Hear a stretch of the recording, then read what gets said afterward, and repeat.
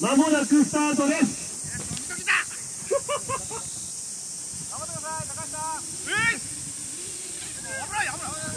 スタートメーカーつまずり合い。さあスタートおおどうか。速い。ワープだワープだ。なんだあのスピードは岡さん。速い。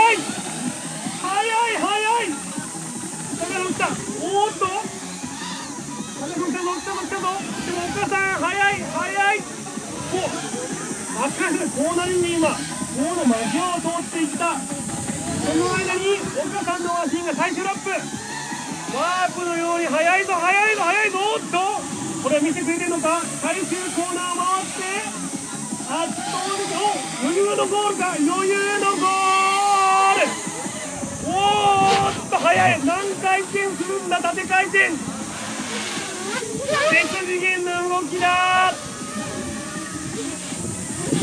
第1回ドローンレース優勝は岡さんです。おめでとうございます素晴らしいフライトそして高橋さんの機体もなんかずんぐりむっくりですけど相当なスピードでおー飛んでる飛んでる綺麗な機体です。